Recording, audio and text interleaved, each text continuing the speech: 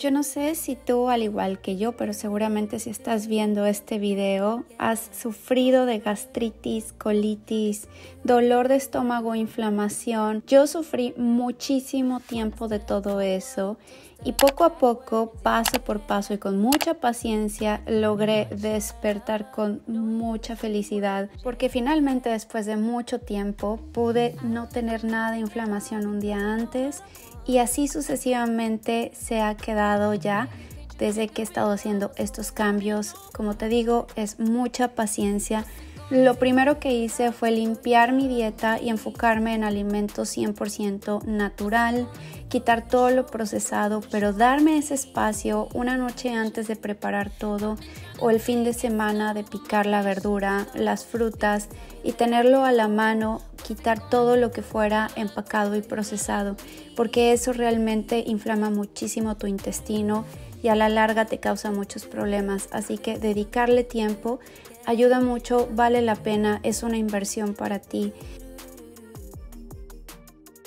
Ir al supermercado y comprar todos esos alimentos que simplemente vienen de la madre naturaleza y por lo tanto no te van a hacer daño. Eliminé por completo todos aquellos endulcorantes artificiales que muchas veces nos los venden como si fueran muy saludables, porque efectivamente no te elevan la glucosa en sangre, pero sí arrasan con toda tu microbiota y eso te causa muchos estragos. Comenzar el día con agua con limón ha sido clave en el proceso de mi recuperación intestinal porque el estómago tiene que estar ácido y para regresarle esa acidez el agua con limón es perfecta o también el agua con vinagre de manzana, de sidra de manzana. Lo mismo con el caldo de huesos. Durante casi tres meses estuve consumiendo caldo de huesos todos los días como parte de mi desayuno. De hecho, rompía el ayuno con mi caldito de huesos prácticamente diario y a eso también le sumaba un poco de glutamina, le ponía una cucharadita de glutamina. El caldo de huesos es muy bueno porque es alto en colágeno y glutamina y la glutamina es un aminoácido básico para sellar las paredes intestinales y que tu intestino no se vuelva poroso y se recupere y se repare a sí mismo. Entonces todos los días durante tres meses lo estuve tomando. Me hice una prueba de microbiota, cómo estaba la salud de mi intestino con Flore. Si quieres saber, tengo un video de cómo me fue, cómo es que lo hice, pero una vez que me dieron mis resultados, me mandaron a hacer unos probióticos totalmente personalizados que créanme, vale muchísimo la pena porque no hay nada que haya recuperado más mi salud intestinal que estos probióticos 100% personalizados, diseñados para tu intestino te dicen exactamente qué cepas de bacterias necesitas, en qué cantidad y ellos lo hacen. Ustedes no tienen idea de cuánto dinero gasté en otros probióticos que no me funcionaron, pero estos han sido 100% la diferencia, la he notado.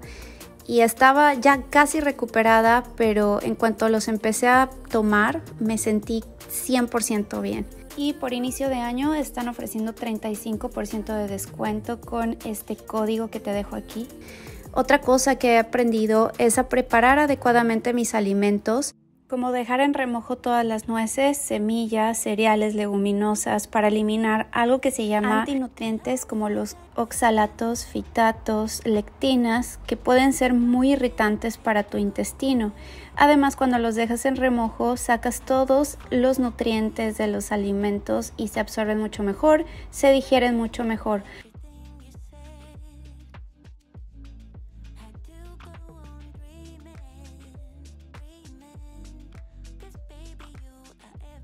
Algo también que he estado consumiendo bastante es la clorofila en agua varias veces al día. Es un depurante, desintoxicante natural y agregar muchísimas verduras a mis alimentos, como hacerme un jugo verde, ponerle aloe vera. El aloe vera también ayuda mucho a la salud del intestino, a recuperar las paredes intestinales.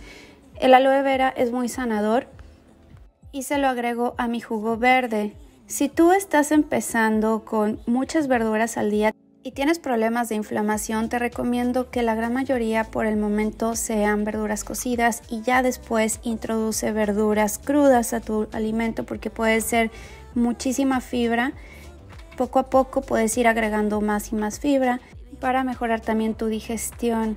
Controlar los niveles de glucosa en sangre también es una clave más para mejorar tu salud de la microbiota, tu salud gastrointestinal.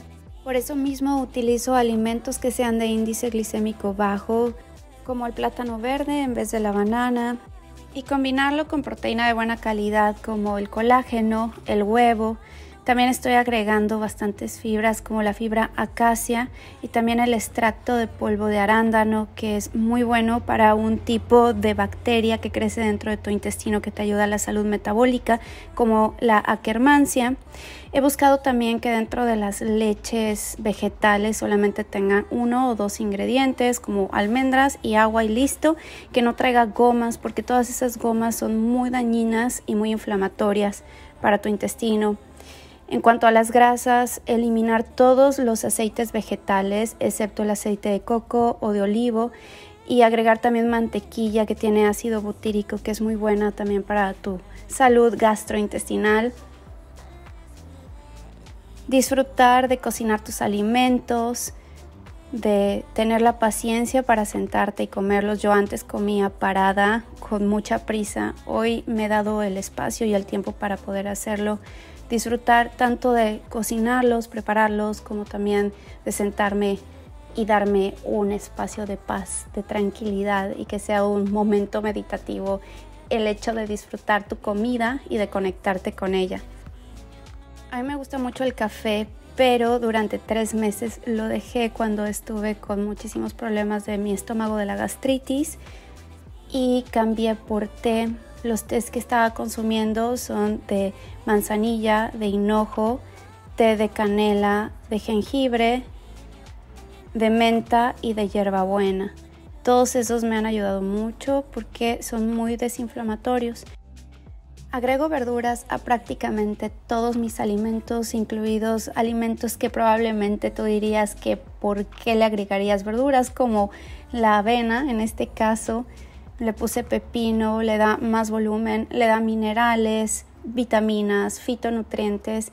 Y también cuando tengo la oportunidad agrego más antioxidantes como el polvo de cacao, el polvo de arándano, polvo de betabel, fibra de acacia, cáscara de psyllium y ya sé que suena mucho, también algunos adaptógenos como la maca y los hongos medicinales como el reishi melena de león o el chaga también son muy buenos para no nada más tu salud intestinal, sino para tu salud hormonal.